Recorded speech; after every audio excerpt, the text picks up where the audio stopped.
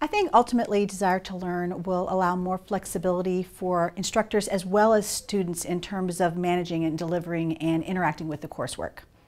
I think the transition, I mean, I think it will take certainly some work to get the courses migrated in Desire to Learn, but once you get over that initial hump of work, I, I think it will be ultimately easier to manage for instructors. I'm excited about using a more modern uh, management system.